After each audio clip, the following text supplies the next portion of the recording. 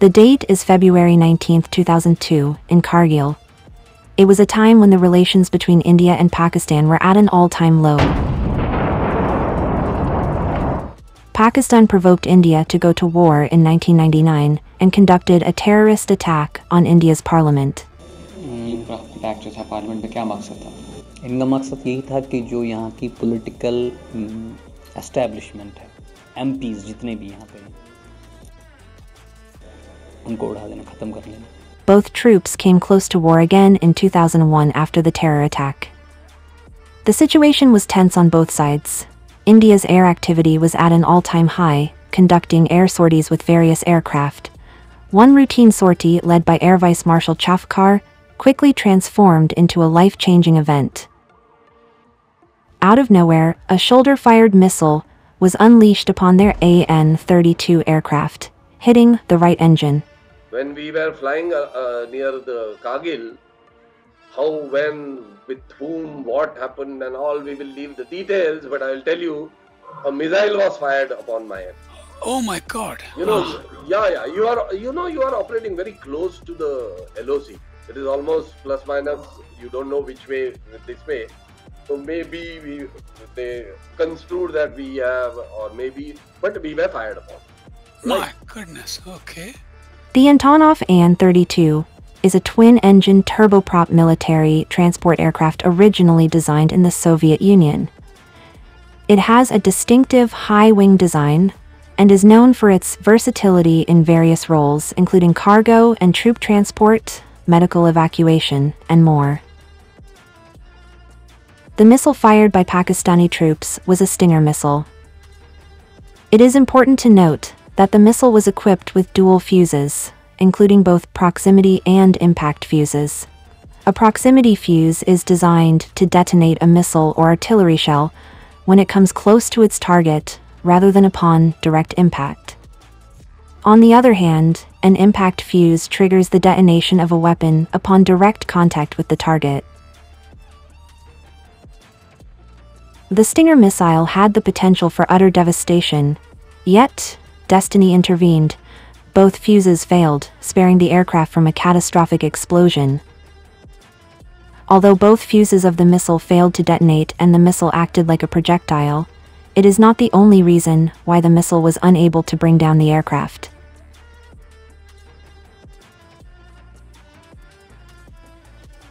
Even today, Kargil poses significant challenges for operating and flying aircraft.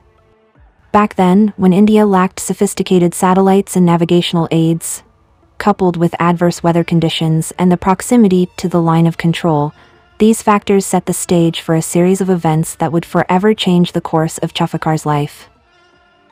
Whiteout caused by heavy snowfall, the pilot noticed a discrepancy in the aircraft's position relative to Kargil town. Realizing the urgency, the pilot took swift action, attempting to correct the course. However, a thud and a cascade of warning lights signaled a different kind of danger.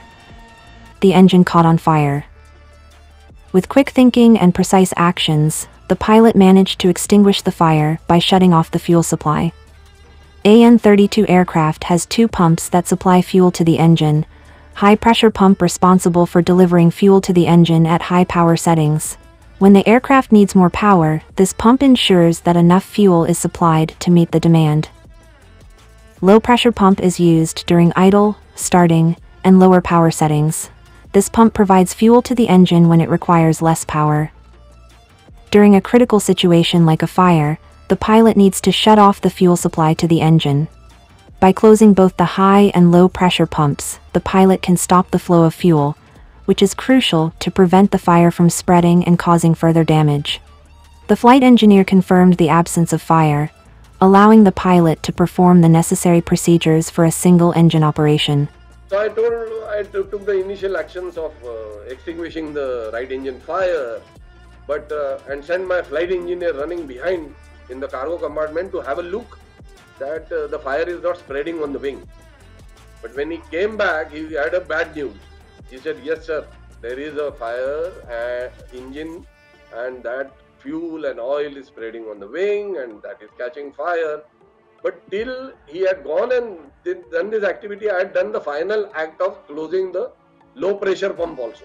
High pressure pump I had closed, fuel, low pressure also I had closed. So now I told him again go back and see. Back then, landing at Kargil was deemed extremely difficult with two engines, let alone with a single engine compromised by the earlier missile hit.